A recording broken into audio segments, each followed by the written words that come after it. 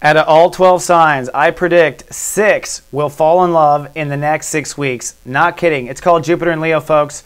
Find out where you are falling in love, whether with someone else or something in your life, at SoulMark.me.